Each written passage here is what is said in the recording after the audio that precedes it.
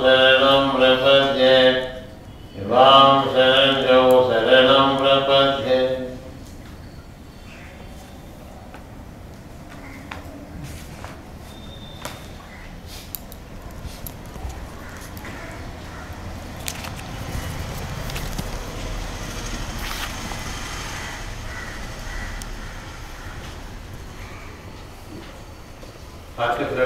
Saludos fraternales de corazón y mis buenos deseos a todos los hermanos y las hermanas. Estamos dentro de la segunda parte de la segunda sloka. La primera parte es así.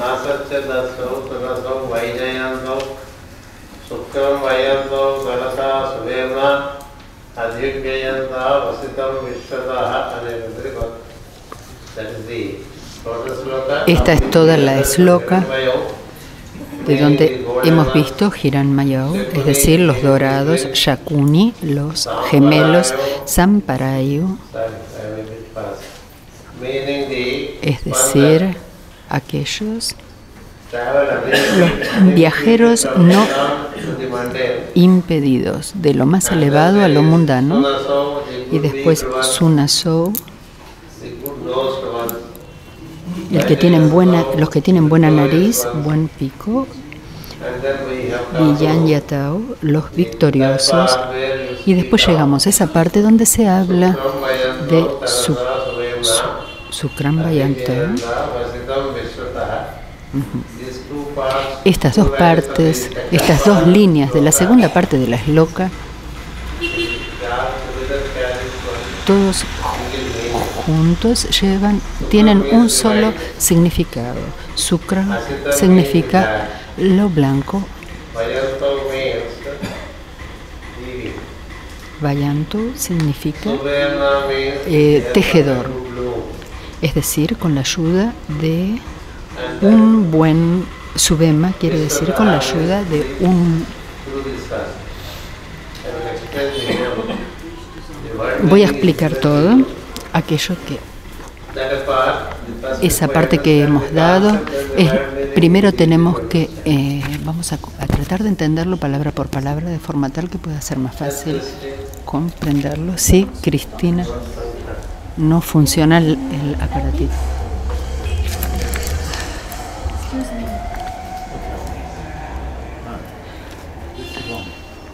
su lema era el, el telar mágico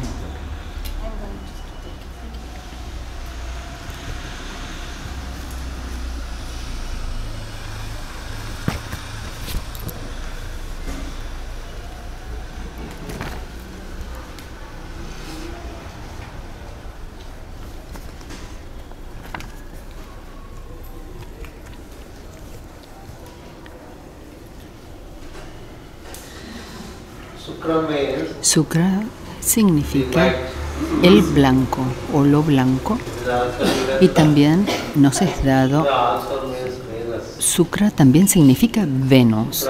Sukra también significa el espermatozoide. y Sukra es el blanco brillante, la chispa, la chispa blanca. Todo esto es Sukra. Todo esto es un aspecto. En la segunda parte de la estanza tenemos asitam, eh, lo negro. Sukram asitam, es decir, lo blanco y lo negro, o blanco y negro. El blanco y lo negro son tejidos por medio de un telar mágico. Son llamados los Aswins son llamados Bayantou, es decir, los tejedores. El tejedor eh, con el hilo blanco y negro a través del sol con al sistema solar. El sol mismo es llamado el tejedor con la luz que vienen como siete rayos y después siete especies que, especies que suceden, siete reinos, siete cualidades y también la combinación de los siete de manera tal que teje y teje. Es por eso que al, eh, sol se lo llama Vivasvata, que es el tejedor. El sol teje todo el sistema solar. El sol teje todo el sistema solar y su energía está presente en nuestro planeta en toda su dimensión septuple, no solamente está presente en nuestro planeta, sino que también está presente en nosotros. Nosotros también tenemos los siete rayos en nosotros. Es por eso que el hombre se considera ser un ser completo, porque todos los siete rayos funcionan en nosotros. Los siete rayos tienen los siete colores y tienen los siete sonidos. Aquí se dice que los gemelos son aquellos que con ayuda de Subemna, Subemna significa un muy buen telar. El telar es la máquina, máquina tejedora. Con la ayuda de esta máquina tejedora, ellos son los que tejen a través del sol el con el negro y el blanco y con los distintos rayos y colores. Es así como la segunda parte de la sloka dice. En esto tenemos todos los términos relativos, Sukram, Vayantov, que significa el aspecto tejedor, y después Subemna, que quiere decir con la ayuda de un buen telar, vivas a través del sol, y es así como sucede todo el trabajo con Vivantayaut, Sukram, Asitam. Sukram, la creación blanca y negra. Toda la creación no es sino negro y blanco y se detalla en siete colores. Debemos entender esto. Si tomamos los colores, el, el azul oscuro surge solamente del negro. Lo que llamamos el color índigo, el azul oscuro y el azul, también aquellos que imprimen los libros saben que si quieren tener eh, color azul deben mezclarlo con negro. Cuanto más negro se le ponga, más oscuro será el azul. Así que el azul no es solamente azul, sino que su base es el negro. Así que de, los tres colores surgen de la oscuridad y del blanco tres colores emergen. Así que eh, el blanco es la base para el rojo, el amarillo y el azul. Para decirlo más claramente, eh, rojo, amarillo y eh, naranja. Este es un grupo de colores. El índigo, el azul y el violeta es otro grupo de colores. Su combinación es verde. La combinación de los dos pares de tres es verde. E, esa es una química. Es de la, partiendo de la oscuridad que el color índigo puede ser también visto a la medianoche cuando no hay luces prendidas y vemos el cielo. La oscuridad no es realmente, el cielo no es realmente oscuro, negro, sino que es profundamente azul. Este profundo azul tiene, tiende a ser un azul después claro que tiende a ser blanco. Estos son los tres colores. De la misma forma, el rojo que vemos a la mañana, eh, a la hora del amanecer, lentamente da lugar al naranja y después al amarillo. A pesar de que eh, ah, no, el Yor es, ah, está deletreando los colores eh, violeta, índigo y azul. Vía, eh, violeta, índigo, azul. Aiv es azul, índigo y violeta. Los dos vienen de distintas fuentes. Uno viene del negro y otro viene del blanco. Y el resultado sobre la Tierra es verde. Es así como es. lo mismo ocurre con nosotros. Todo lo que está anclado y manifestado es verde. Es por eso que decimos que Saturno es verde.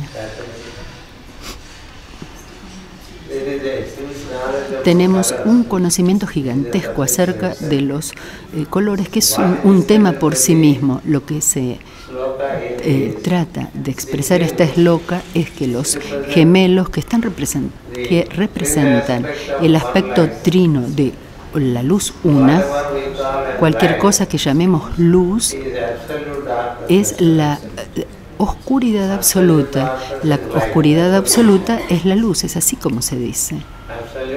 La oscuridad absoluta es la luz. Es, es la luz que está más allá de la oscuridad que viene a través de la oscuridad. Así que sea blanco o sea oscuro, esencialmente son dos como uno. Esto es lo que debemos saber. Esencialmente, eh, los aswins a veces eh, eh, lucen como negros y a veces como blancos. Es por eso que en la terminología védica se habla de aditi y diti. Aditi y diti. Aditi es el blanco brillante y diti es el blanco brillante. Tenemos las historias acerca de la rey de la noche y la, la reina de la noche y la reina del día. La reina del día es blanca y la reina de la noche es negra. Las dos están presentes. Las dos no son sino una. Eh, puedo eh, darles un ejemplo. El cielo que vemos ahora eh, de poco a poco se transforma en muy brillante, en blanco brillante a la hora del mediodía. Si vemos es todo blanco, ¿no es así? El mismo cielo a la hora de la medianoche es completamente oscuro.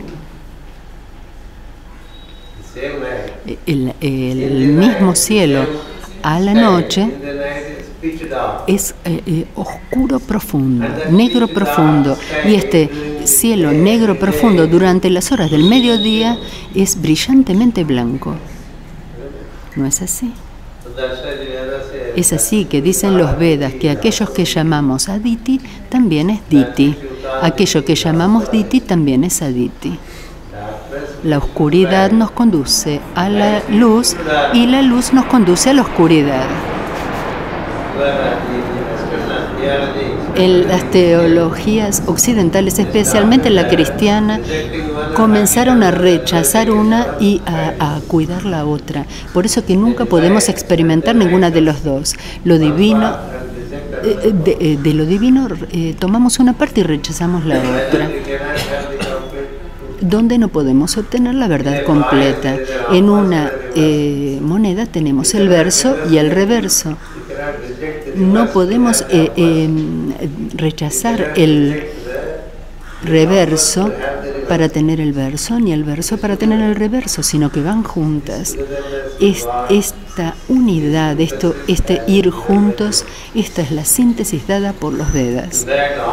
De hecho, todas las experiencias relativas al mundo sutil no son eh, no nos son dadas en el día, sino en la noche. Cualquier cualquiera que experimente el lado sutil de la luz, la luz subjetiva, la luz en el mundo sutil, la luz en el mundo causal, la luz más allá, todos son experimentadas en las horas de la noche y no en las horas del día. Nadie ha experimentado nunca ninguna cosa durante las horas del día, todo sucede durante la noche. Así que la noche llama, eh, lleva en sí la luz y en el día la expresa. Si regularmente estudiamos las meditaciones ocultas, y también se dice allí que de la oscuridad al no color, del no color al azul brillante, del azul brillante al brillante puro, del brillante puro a un color, de un color a tres colores, de tres colores a cuatro, de cuatro y tres a siete, de tres veces cuatro a doce, de 12 a 24, de 24 a 48 y 49 y a 100 y 1000 y series de ceros. El hombre es, entra nuevamente en el gran cero. El mundo se va a dormir.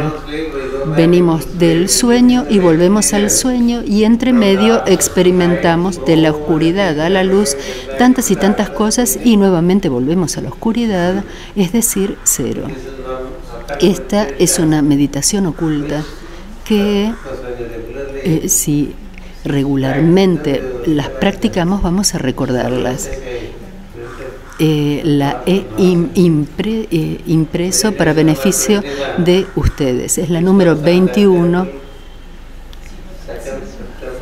que es del 2 de septiembre y el 13 de octubre y el 7 de marzo. Esas son las fechas donde la tenemos. Cuatro veces en el año se repiten si regularmente eh, hacemos las meditaciones ocultas. Por lo tanto, lo que quiero decir con esto es que es el, es el trabajo, el volver, el tornar las cosas de la oscuridad a la luz y después volver a retornarlas. De la eh, es loca que sigue, se trata también de esto, lo que se dice aquí, que a través del sol todo es tejido. A través del sol, la noche y el día son tejidos. Por eso tenemos en el sistema solar, sobre la Tierra, experimentamos la luna llena y, y en la que crece lentamente la, la luz hasta la luna llena y desde allí hay un decrecimiento gradual de la luz hasta la luna nueva. La luna nueva es muy profunda. La luna nueva es muy profunda. Todo está oculto en la conciencia de la luna nueva. Es muy profunda. La luna llena es revelada. Se revela. Lo que es lo que se revela es como un lo que se revela es como una es un cuarto y lo que permanece oculto eh, permanece como potencial. Todo mes la potencialidad se libera gradualmente. Una vez que se haya revelado completamente, se vuelve a reunir para volver a ser liberada. Se reúne para ser liberada. Eh, esta liberación sucede desde la luna nueva a la luna llena. Es de la noche al día y durante el día eh, nos quedamos agotados. No ahí, más o menos a las 10 de la noche, estamos como estrujados, eh, completamente estrujados. Así que eh, necesariamente nos quedamos dormidos. ¿Y entonces qué es lo que sucede? Estamos reganando, recuperando todas las energías por medio de alimentarnos a través del sueño. Y a la mañana siguiente es- estamos como una flor fresca. A la mañana eh, temprano somos como una flor fresca y a la tarde estamos estrujados como una col, como un repollo. Eh, eh, este eh, estado retorcido es el que se relaciona con la col. Eh, a pesar de que sea fresco, está como todo retorcida sus hojas. Desde este estado de estar retorcido a estar desplegado a la mañana, ¿quién está causando esta magia en nosotros? ¿Quién está haciendo esta magia? Durante la noche somos preparados y durante el día gastamos la energía. Así que, ¿cuál es, ¿qué es lo más importante? La noche y el día, la oscuridad y la luz. Así que tenemos un concepto muy bello acerca de Krishna. Krishna es llamado Panduranga y también llamado Krishna. Krishna significa eh, lo oscuro. Panduranga significa blanco. Él es blanco, es oscuro y blanco.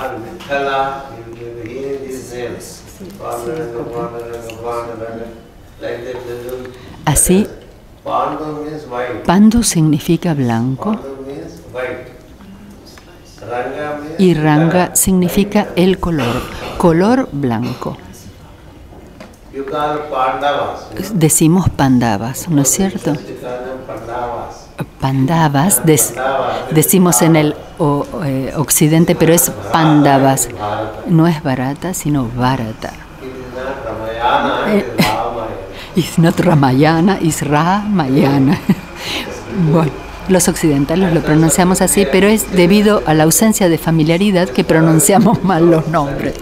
Para nosotros es gracioso. Pandavas Pero estos pandavas son pándavas. Pandu significa blanco. Son todos los hijos del Pandu. La historia del Mahabharata, Pandavas los pándavas son llamados pándavas porque son los hijos de Pandu. El nombre del rey fue Pandu y Pandu significa blanco. Los hijos de la luz, a quien llamamos pándavas, se asocian con Krishna, la oscuridad, para llegar a la realización.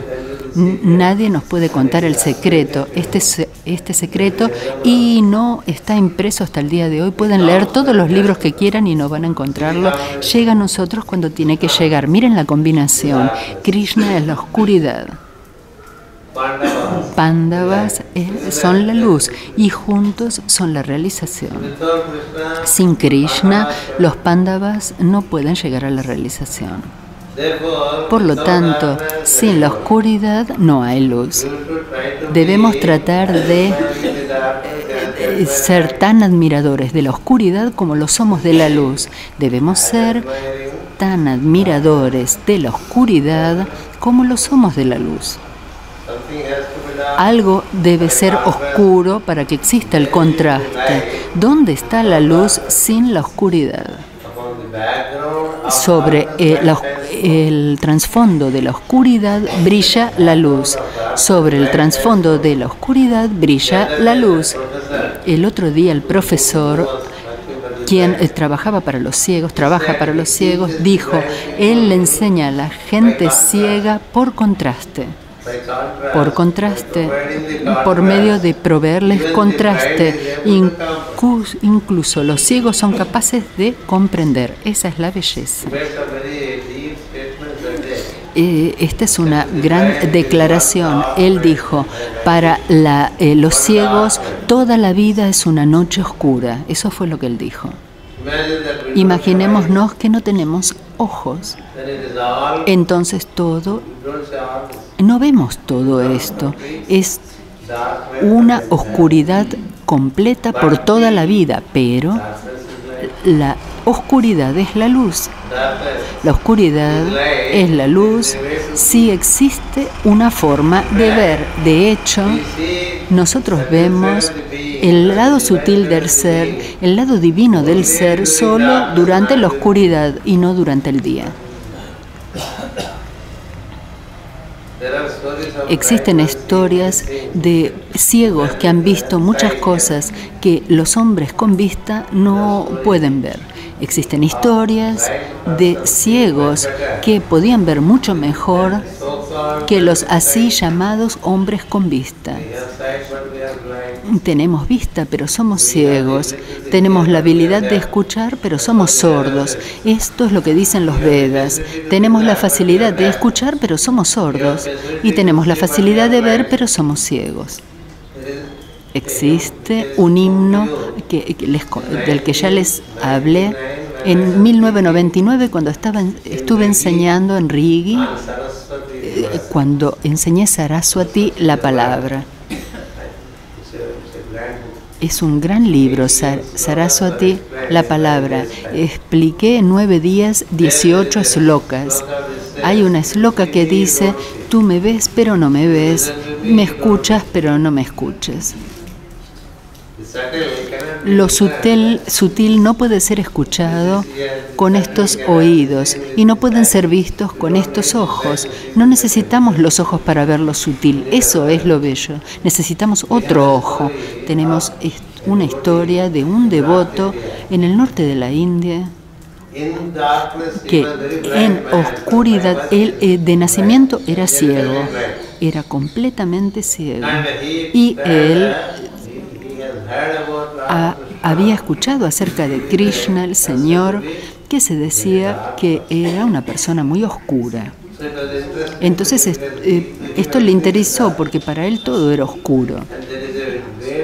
Entonces eh, resulta que había un gran ser con esa clase de color azul oscuro y quedó eh, muy interesado y escuchaba y escuchaba más y más las historias de Krishna en su niñez y entonces comenzó lentamente a verlo.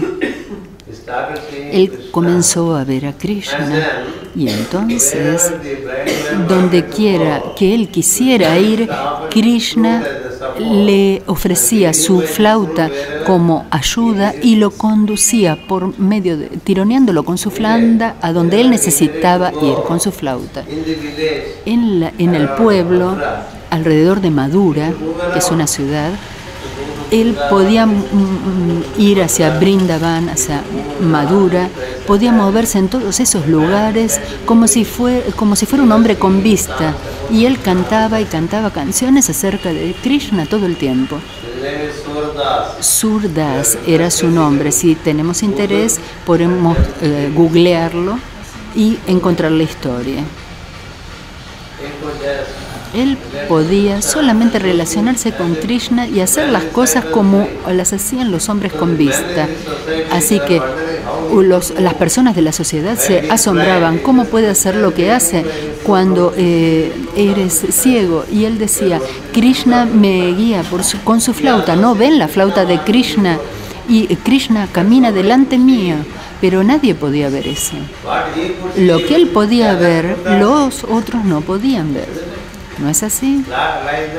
De esta forma, un maestro de sabiduría está mucho más despierto durante las horas de la noche que durante las horas del día. El Bhagavad Gita dice, un yogi funciona por la noche mientras todo el mundo está durmiendo.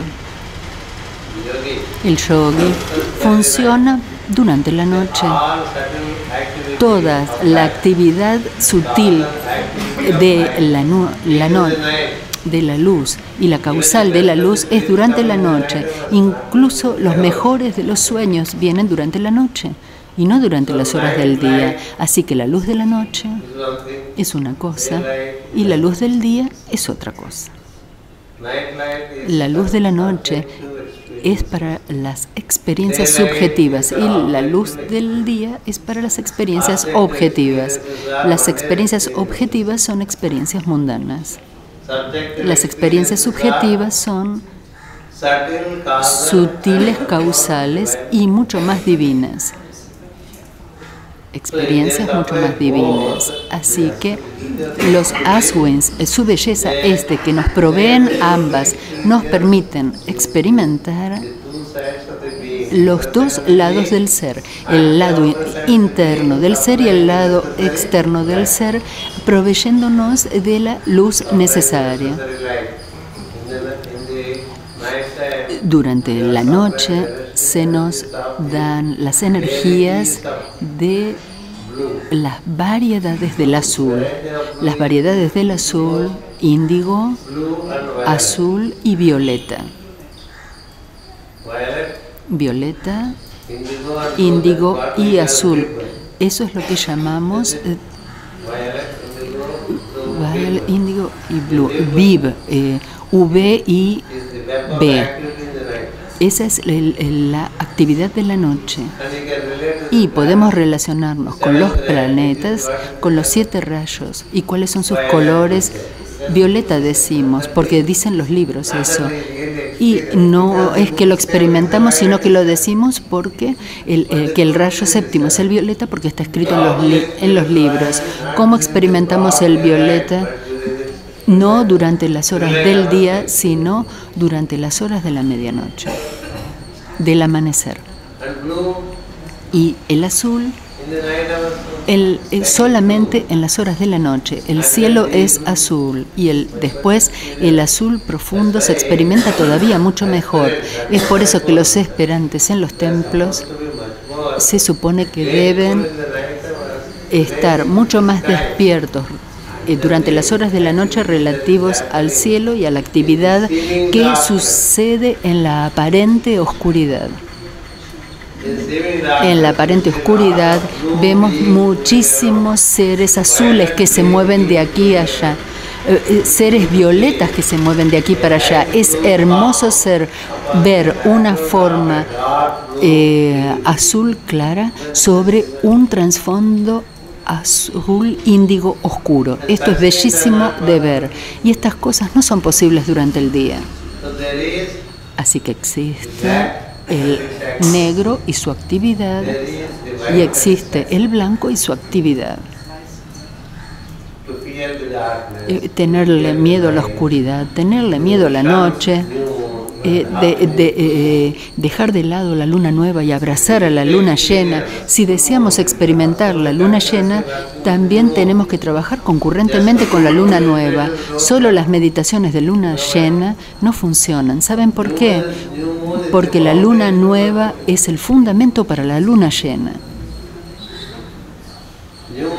La luna nueva es el fundamento para la luna llena. Los atlantes se relacionaban más con la luna nueva que con la luna llena. Y en los rituales védicos, la luna nueva se relaciona a Shiva y la luna llena a Vishnu. Es decir, Shiva es mucho más profundo que Vishnu, que está más en la actividad.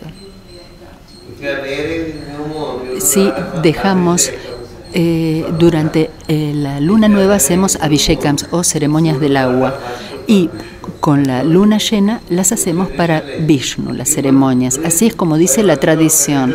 Las personas hacen las cosas por virtud de la tradición y no por virtud del conocimiento. Antes se hacían debido al conocimiento. Hoy día es, una rutina monótona de funcionamiento, sin ningún significado. El significado de cualquier cosa puede ser obtenida solamente por una persona que tiene hambre del ocultismo. Cuando no hay hambre por el ocultismo, nada se sabe.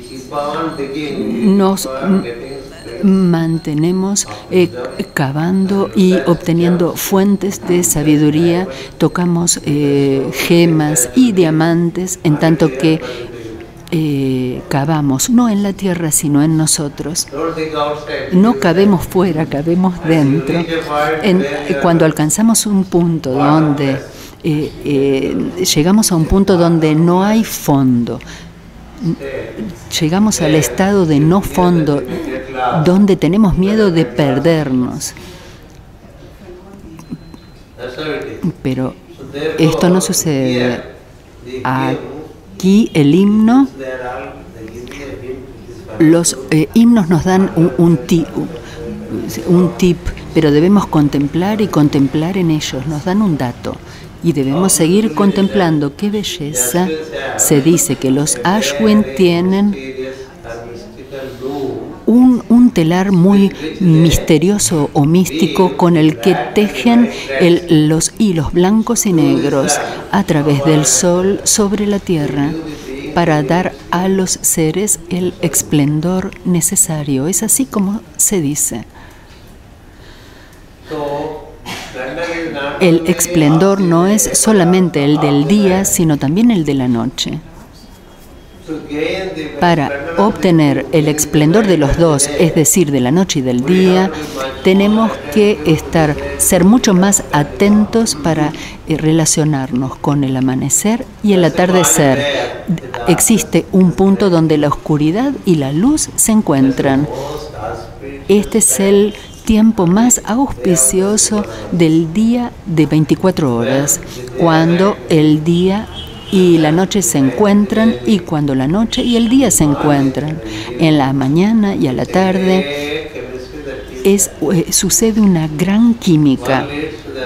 Una conduce al, al otro y el otro conduce al uno. Uno conduce al otro y el otro conduce al uno. Esta es una dimensión y después nos queda una dimensión más en relación con esta loca que es Nasatya Dasra. Está escrito aquí en la hoja, en la esloca 2, como Tasra, Tarasa y esconde. Nasatya, es. Nasatya Dasram. Tenemos que ponerle una D. Eh, También en el significado está escrito como tasra, pero tasra le tenemos, le tenemos que poner una D. Eh, Nasatya quiere decir los seres no, no verdaderos. Tasra es la palabra. Eh, eh, los, eh, y Tasra significa los sin límite, el lado ilimitado del ser.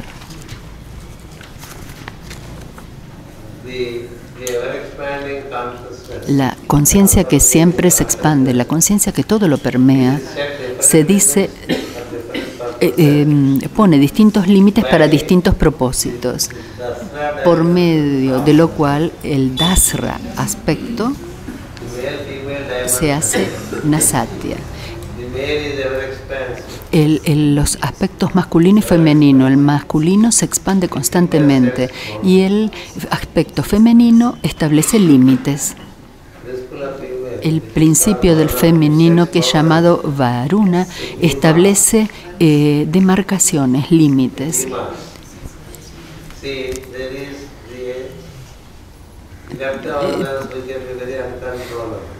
eh, puede que la mano izquierda sea muy incontrolable. No. Entonces se le coloca a cada ser una, eh, un límite para poder ser controlado. Digamos, por ejemplo, para una rata, eh, el límite es un gato. ¿No es así? Si tenemos un gato, la activita- actividad de la rata se controla y la actividad del gato puede ser contenida por el perro. ¿No es así?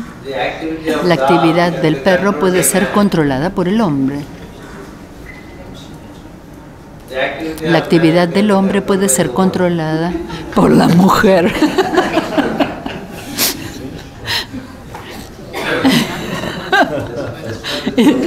Solo para hacer una broma. ¿No es verdad? La actividad del hombre es controlada por una mujer. Sí, cuando miramos de, este- sí, ellas son las que nos controlan. Es decir, que el hombre contiene al hombre, eh, la mujer, el hombre contiene a la mujer, la mujer contiene al hombre. Cuando el, el hombre, eh, la mujer se va de compras, el hombre es el que dice hasta acá, hasta acá. Cada uno establece el límite para el otro. Incluso en nosotros tenemos un factor limitante. Si- los alimento con chocolates todo el tiempo, hay un punto donde ya no pueden tomarlo y me dicen es suficiente. ¿No es así? Cualquier cosa. En, todos tenemos el principio de la contención. Existe un principio de contención, de límite. Si hablo, hablo y hablo y no paro de hablar, se van a terminar levantando y van a- decir es suficiente. ¿No dicen eso acaso? Incluso que, eh, lo van a decir, pero incluso antes de escucharlo ya me voy a levantar Eh, y me termino callándome para que no me digan que me tengo que callar. Es decir, que hay una cosa afuera y otra cosa dentro. Hay un factor limitante, tanto dentro como afuera. Lo observamos, en toda actividad hay un factor limitante. La actividad del día, cuánto puede continuar, hay una, un factor limitador, eh, limitador y decimos es suficiente, me voy a dormir. Y cuando dormimos, eh, limiting nuevamente hay un factor limitante que también dice es suficiente, has dormido lo suficiente, te despiertas. no podemos dormir y dormir sin límite. Incluso si se nos deja dormir, ¿cuánto vamos a dormir? Un poco más allá de las 6 de la mañana. Pero levantarse antes de las 6 de la mañana ya es un problema. Pero no podemos más o menos levantarnos un poco más tarde. El factor limita, existe un factor limitante para dormir, para soñar, existe un factor limitante para toda y cada acción, existe un factor limitante para toda especie sobre el planeta y un factor limitante para el planeta mismo. Hay una órbita en la que debe moverse el planeta. No puede moverse de otra forma, no puede. Decimos que hay. Hay eh, anillos alrededor de Saturno, pero hay anillos alrededor de todo. Ahora hay un... En la ciencia de astronomía se dice que Saturno está perdiendo sus anillos. El planeta Saturno está perdiendo sus anillos. Es obvio que Saturno pierda sus anillos. En cuanto perdemos nuestras limitaciones, Saturno nos libera. Así que existe un factor limitante que se llama Dasra, que es el que está escrito como Tasra. Nasatya significa los seres que se expanden eternamente. El omnipresente, omnisciente, omnipresente, todo esto es contenido en diferentes planos de diferentes formas. El planeta, puede contener la luz solo hasta un punto y no más allá.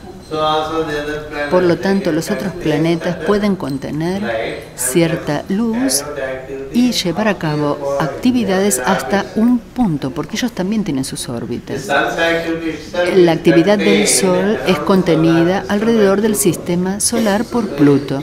Plutón, de acuerdo a los Vedas, eh, marca los límites de la actividad solar.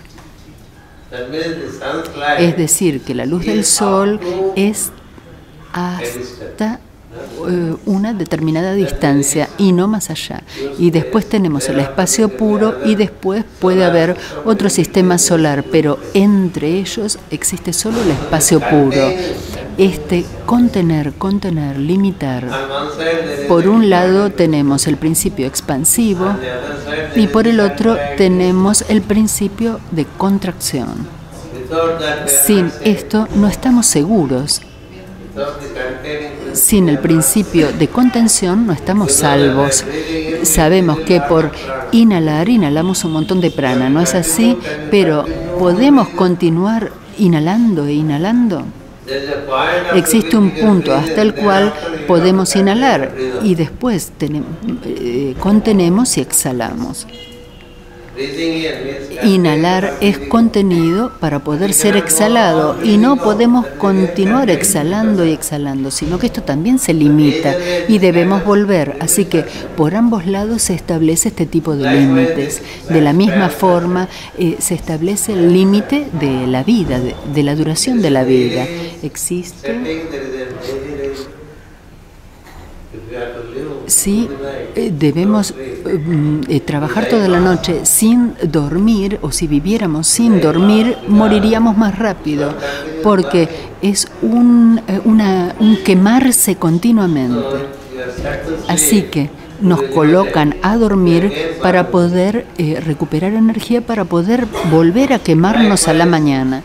De la misma forma, cuando se trata de la duración de la vida, cuando tenemos 70, 80 años, ya comenzamos a sentir, ya no tiene sentido quedarnos en este cuerpo porque no me puedo doblar, no me puedo sentar, no puedo correr, todo tiende a endurecerse y ciertas cosas comienzan a faltarnos, a fallar, ya no podemos escuchar mucho, no podemos ver mucho, nada eh, tiene tan buen gusto y lo que comemos no es digerido. Dasra nos prepara nos prepara muy bien para que, digamos, mejor encontremos un nuevo cuerpo. Más allá de los 84 años, si seguimos permaneciendo, es porque no sabemos cómo irnos, no porque queremos quedarnos. Incluso cuando no queremos quedarnos, nos mantenemos porque no sabemos cómo salirnos. Pero es una situación ya no interesante. No es muy interesante para nosotros ver nuestra cara en el espejo, porque si nos reemos ya no tendremos muchos dientes en la boca. Ahora nos ponemos dentaduras postizas, ¿no? Pero no, no eh, da lo mismo la sonrisa que teníamos a los 30, a los 40, a la, no se puede comparar con la sonrisa de los 70 y los 80. Y después... perdemos los cabellos. No tenemos mucho que peinar a la mañana. Y por hábito, si queremos peinarnos, vamos a encontrar que no hay mucho que peinar. No, gustaría salir y jugar al fútbol, pero nuestras piernas no, no, no lo hacen. Podemos solo ver el fútbol en la televisión. Para eso tenemos los ojos. Es así como es. En tanto que avanzamos hay un punto donde sentimos, no, no cambiamos los automóviles. ¿Acaso? Son tres, cuatro años viejos y ya los cambiamos. ¿Por qué no los cuerpos? Vamos a tener esta idea proveniendo del principio de Dasra y diremos, bueno, está bien, ahora me voy. Me voy a... Pero lo que pasa es que no podemos irnos. Esta es otra historia. Así que Dasra funciona de forma grandiosa. Es lo que llamamos marcando el final para todo. Marcar el final. Y incluso un globo, cuando lo soplamos, hay un punto hasta el cual lo podemos soplar, inflar. Más allá de eso, explota. Así que toda la creación es como un gran globo y nuestra vida eh, también es como un globo. Es, es una vida eh, semejante a un globo, así se dice en la filosofía. Si eh, en donde se escapa el aire, se acabó todo. Así que pensemos en esto, en el punto en que debemos parar. Si nos relacionamos con Nasatyan y concept, tenemos una conciencia expansiva y una conciencia contractiva y contenedora, Nasatya y Dasra. Dasrau, decimos así porque lo estamos haciendo juntos. Ese au, au, muchas veces vemos, escuchamos au. Au es la expresión gramatical cuando hablamos de dos personas. Se agrega este au. Esto es sánscrito. Bueno, no se eh, preocupen tanto del sánscrito. En estas eslocas relaciónense con el significado que se da en inglés. Eh, podemos traducirlas al español, al alemán o al francés y no nos preocupemos tanto del eh, aspecto sánscrito porque nos vamos a descorazonar. Es demasiado tarde para pensar en aprender sánscrito, es demasiado tarde. No solamente a ustedes, sino también para los indios que no se asociaron hasta ahora con el sánscrito. Así que no entremos en áreas de dificultades, sino que vayamos a áreas donde la comprensión es más fácil. Es por eso que les doy la palabra original. En realidad lo que nos importa es el significado y todo, eh, eh, de- todo el significado es importante y yo los introduzco a grandes dimensiones de la existencia cósmica.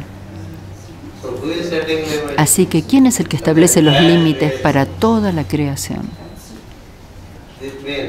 Los gemelos, los Ashwins, que son llamados Mitra y Varuna, o Nasatya y Dasru, o Vasista y Agastya. En distintos niveles son llamados con distintos nombres. En nuestro ser, nosotros los seres pertenecemos a Nasatya. Nosotros los seres pertenecemos a Nasatya y las variadas formas que tenemos en nosotros. Las formas son Dasru. Estamos contenidos por la forma. Contenidos por la forma. Y es por eso que el maestro Sivivi dice, voy a trabajar con tu forma y no contigo como tal. Voy a reparar tu forma de manera tal que no sufras de tantas y tantas limitaciones, porque la forma no las eh, eh, resiste tantas limitaciones. Así que la rectificación es la rectificación de la forma para que el ser se encuentre confortable. Esto es el yoga. El yoga del maestro Sibibi es la reparación de la forma que es eh, eh, física, sutil y causal. El, el ser está bien, el alma está bien, pero es la personalidad la que debe ser rectificada. La, para el, la superalma, el alma es dasru y para el alma la personalidad es dasru y para la personalidad el cuerpo es dasru. Para el cuerpo y el, el ambiente es dasru. Así que se eh, establecen límites en cada punto. Estos son no vistos, invisibles. Si nos vamos aquí hacia el este, hay un punto hasta donde podemos ir y después ya no, porque nos encontramos con el mar. Hay un, un límite. Así que los límites son colocados en todos lados, pero en nuestra percepción no los mantenemos muy bien. Es por eso que son colocados. Para todo existe un límite para todo en la creación. Para todo existe un límite. Incluso si des, de, deseamos que crezca el pelo, crece hasta un cierto punto. Cualquier cosa es contenida, cualquier cosa. El Sol es contenido, limitado, los planetas son limitados, los seres en el sistema solar son limitados, los seres en todos los sistemas son limitados. Esto es lo que llamamos el, anillo no se pasa. Eso es como dice el maestro Dualkula, así lo dice. El anillo no se pasa. Lo, ¿Qué es lo contenido dentro del anillo?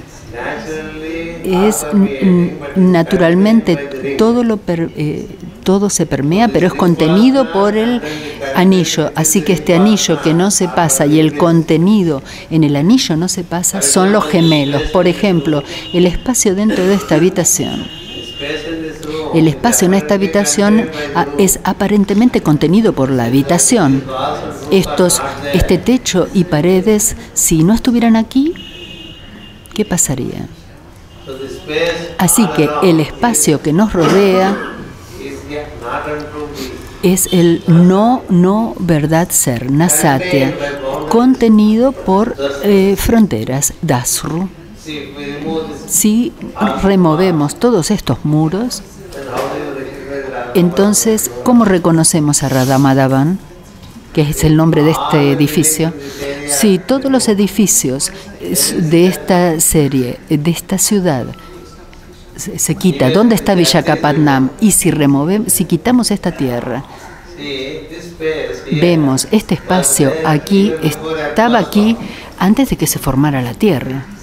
Incluso cuando se formó la tierra, tuvimos algún tipo de acceso a él. Y cuando se formó la India y se formó Andhra Pradesh, que es esta provincia, y Villacapatnam se formó, en Villacapatnam se formó la Mupidi Colony, que es este barrio, y en este barrio Radhamadavan, que es el edificio, y en Radhamadavan esta habitación, es así como sucesivamente se produjeron circunscripciones tenemos la, que son facilidades para trabajar, pero ninguna de todas ellas afectan al espacio. El espacio es espacio. El espacio permanece espacio sin este edificio. El espacio permanece siendo espacio eh, con o sin Villacapatnam. El espacio permanece espacio con o sin India y permanece siendo espacio sin Asia y el espacio permanece siendo espacio sin este planeta.